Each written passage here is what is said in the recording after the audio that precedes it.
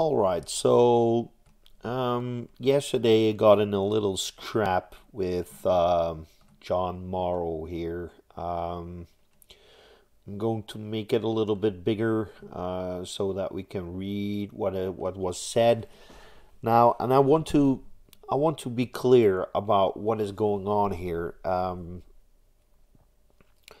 because I, I don't want to elevate John Morrow to a position he doesn't deserve. Um, I made a video saying that activism matters, and I wanted you people to tell me what you wanted to do, and I, I, I was saying that I think that it is a good plan to uh, um, somehow unite and um, seek more uh, support for nuclear amongst people who are in government, right? I'm not talking about bureaucrats per se, but I'm talking about people who have legislative power.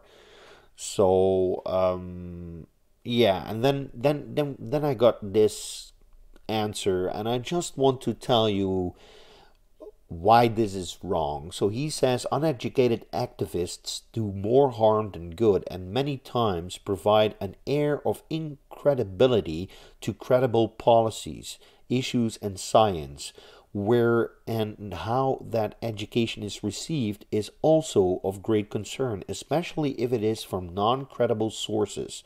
In my opinion, take it for what it's worth, quality is much better than quantity at this point. And here's the thing so, as, as far as the nuclear industry is concerned, I agree quality over quantity anytime.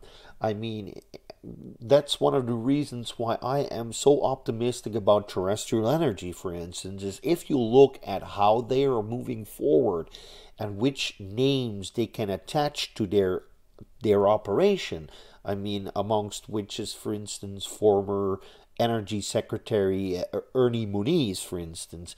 I mean, you can see that they're going for quality, hands down. They have uh, one of the strongest advisory boards. They have uh, a, a very solid plan and they're moving forward in a great way. So that's absolutely quality over quantity.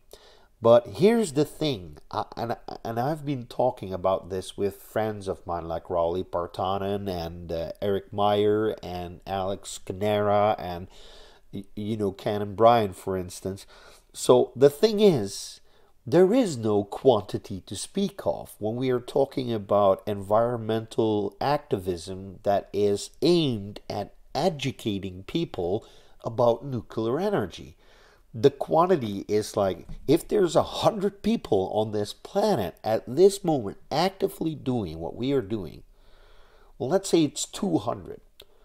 That's optimistic. I mean, I don't believe there's 200 people in the world actively, actively seeking to educate the people about the merits of nuclear energy and why it can play a big role in our future.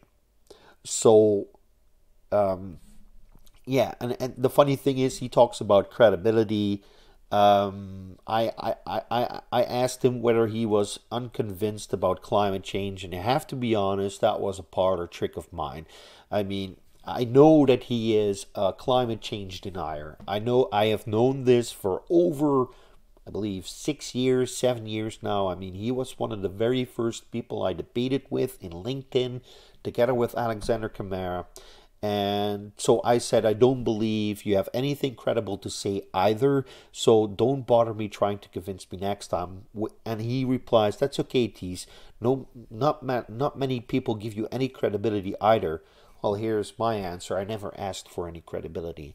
I mean, the credibility issue is something that will be given to you or won't be given to you. I mean, you gain credibility by the stuff that you do. And so this means that the only way people could say what I have done is credible is when they look at my documentaries or, or, or look at my books and say, well, what what has been written what has been made here or what has been written down here makes sense and i think that uh, uh, using this information using these lines of thought will help us further the nuclear cause. So I will leave it up to you to say whether I'm credible or not. Uh, I, I won't claim any credibility. So there's that. But it, what I want to stress is don't be discouraged. Don't say, well, I'm uneducated or I don't have that much uh, experience and um, therefore I mustn't do anything. That's the wrong answer. That's the wrong answer. We need to, you know, outgrow the elitist atmosphere of the nuclear industry and we have to become more inclusive. I know these are these are progressive talking points that many people hate, but it's true. I mean, uh, if we want to bring about a stronger push for nuclear energy, apart from the technology being correct and the industry operating with excellence and understanding that they're part of this world, it also needs support from the outside. It also need, needs grassroots support. So uh, don't be discouraged you know, seek out these uh, organizations who are already working on these issues, like Generation Atomic. They just did a great thing. Uh, let's see if I can find it. Uh, because this is this is awesome. I don't know if if if Eric posted it or Generation Atomic posted it. Let's see. We know how to do this. This here. Generation Atomic volunteers are testifying at an NRC hearing to relicense Seabrook plant in New Hampshire right now. Go get them, guys. So, um, yeah. So, so this is important. This is important stuff. We need people engaged in these kinds of things. Now, Generation Atomic volunteers, you know, there's some of them who are probably very well educated and they probably have the you know the the stuff on board they need to do this thing to do this kind of thing. You can become that as well. I don't think i am at that level you know testifying or something like that. I i can do presentations and i can show you numbers and I, but but in my case i am it's more about the math that's behind the numbers in order to show you how to formulate certain opinions. But um, this is important people we need people reaching out writing op-eds you know uh, creating environmental groups who want to talk to representatives you know, because I saw this picture uh, at this Ocasio uh, Cortez woman. I'm I'm sorry, I don't I don't remember her name. She's I'm Dutch. It's not really, you know, I I know her because of the Green Deal, and I know her because a lot of people are talking about her. Do I think this is warranted? Might be. I don't know. I don't know her well enough. But in any case, I saw pictures of her and her office, and, and there were all these kids sitting on the floor and arguing with this with with this senator uh, to to make something happen. And the senator, even though the the policy that might come out of it is not good, what I want to stress is that this kind of activism works. So please let me know if you're planning on doing something like this or if you want to do something like this. I would really like to help you get in touch with people who are more experienced with this kind of activism. I'm not the guy to to to to coach you in these things, but I can I do know a lot of people who actually do the activism and can help you become more successful and perhaps that's this means that you need to join them or this means that you need to do something separate. But here's the thing. We need more people engaged. And don't be discouraged by people saying oh we need more quality we need quality over quantity because that's bullshit in my opinion.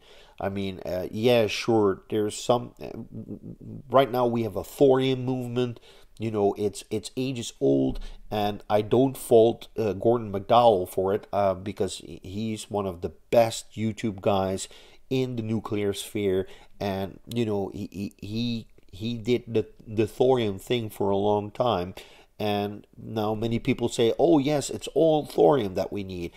Uh, and I do understand that those people are perhaps misled and they, or, or not misled, they, they, they are They don't understand that that that thorium itself is not going to help us just yet. It's going to be a bigger part of the nuclear world in the future, in the distant future. We need uh, contemporary nuclear now. We need to build molten salt reactors as soon as we can. But at this moment, I take whatever I can get. And thorium people are pro nuclear people.